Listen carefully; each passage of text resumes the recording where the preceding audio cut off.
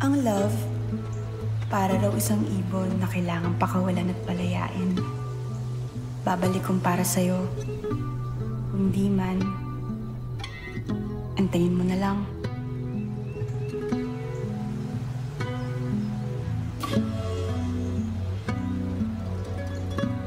Dito ko siya nakilala. Ang ganda ng ngiti niya. Doon lang ako nakakita ng ganon. Mia, Ninervyos ako. Kinabahan bigla. Sige kuya, muna na po ako.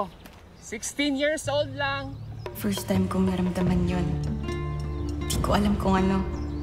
Pero kinabahan ako lalo. Dear Peter. Si Peter ang pinakamaganda kong karanasan at pinakamalaki kong pagkakamali. Ako, Mia. Patulan mo na lahat ng lalaki, wag na wag lang yang si Peter na bukod sa pwede mo na maging tatay, ay may asawa pa. Di sila kasal. Huwag ka nang humirit. Nagigilty ako kay Ate Giselle. Pero may first love na ako. Si Kuya Peter nagpapasaya ng buhay ko sa mga panahong yun.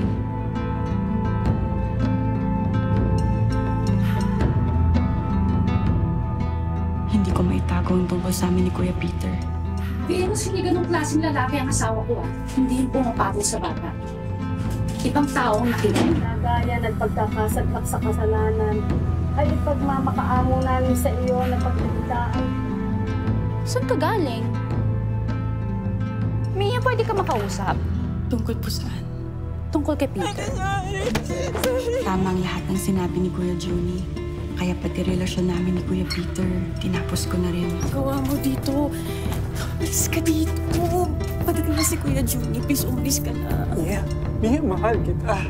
Ang mga unang araw, kinaya ko siyang alisin sa utak ko. Pero hindi ko pala kayang tiisin.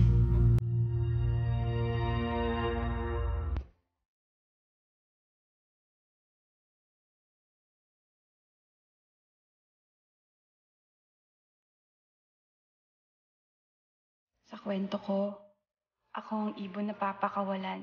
Ako rin yung babalik. Gagawin ko lahat para sa pag-ibig.